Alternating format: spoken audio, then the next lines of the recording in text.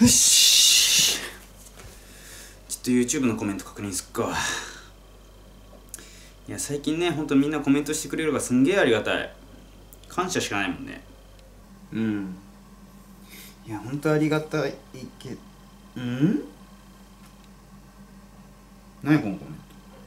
男の介護士に担当してもらわないようにはできるんでしょうか？なんかやらかすのはいつも男の介護士ですよね。男の介護士は一般社会で使い物にならなかったから仕方なく介護になる人がほとんどじゃない？そんなのに大事な身内を預けられないので。うんはいということであの変な声出したのにとりあえずコーヒー飲んでいいですか？あのすごい偏見なご意見をいただいたんですよね。うん。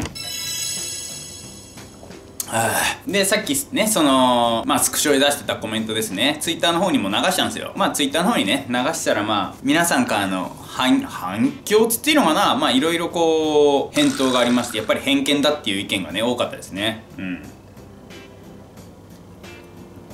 まあ同職種の女性の方からは男性スタッフがいることによってすごく助かるっていうご意見もね多数いただいていたりだとかして。いやただねそういったコメントをいただけるのはありがたいんですけどただね偏見らしき YouTube のコメントをいただいて思った感情としては怒りはないんですはっきり言って。個人的に。個人的に怒りはないんだけれどもなんとなくねやっぱりその悔しさだよね。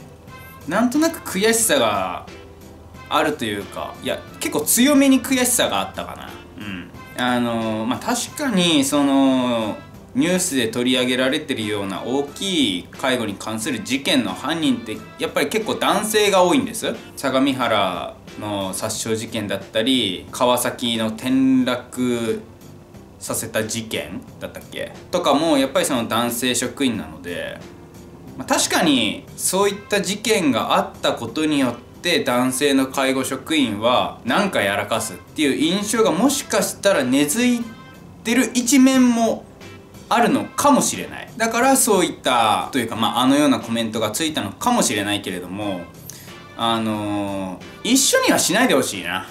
うん。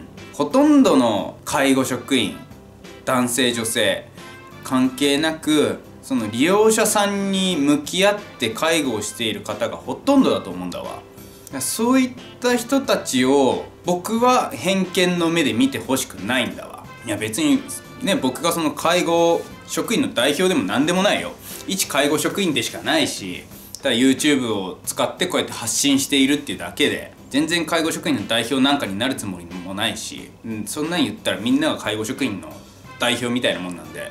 その YouTube のコメントも、まあ、そういった大きい事件があってで犯人が男性っていうところで男性介護職員は何かをやらかすから預けたくないよとか担当してほしくないよっていう考えになったのかもしれん。そういう事件があったことによってそういう印象がついちゃったのかもしれないんですけれどもただそういう目で見てほしくないなっていうのは正直なところ。うん。で僕自身はこういうことを言われたからじゃあ介護職員辞めなきゃなんてことには全くなりません。はい。あの介護っていう仕事好きだしあとはお金稼がなきゃなんないしはい。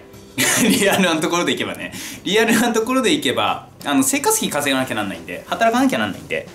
であの好きな介護っていう仕事をね、えー、やっていきたいので僕は辞める気なんて全くないんだけれども。いやそもそもね YouTube やってたらねああいうコメントザラに来るんですわ。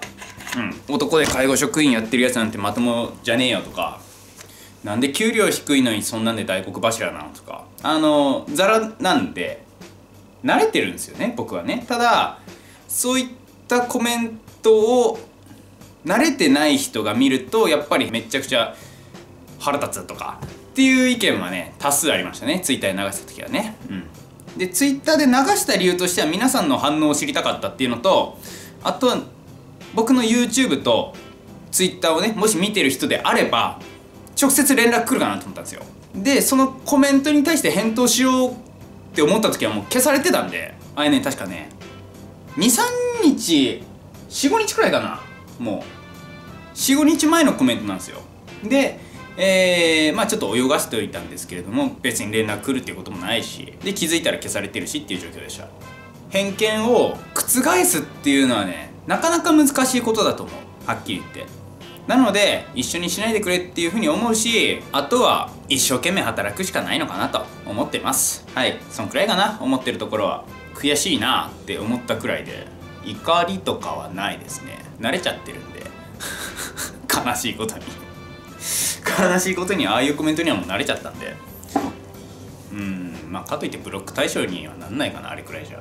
僕に対する理不尽なコメントであったり家族に対しての侮辱だったりっていうのはブロック対象になりますんで、えー、皆さんお気をつけください。はい。まあ大体僕の見てあの僕の動画見てくれてる視聴者さんって優しい方ばっかりなので、はい。まあ、そういったコメントはほとんどないんですけれどもまあ中にはねそういった偏見の思いを持ってコメントしてくれるコメントをねしてくる方もいらっしゃいますのでまあうん。まあそんな感じですわ。オチがよくわかんないけど。はい。以上君と終わらない歌を歌おう。たとえ夜が明けようとしても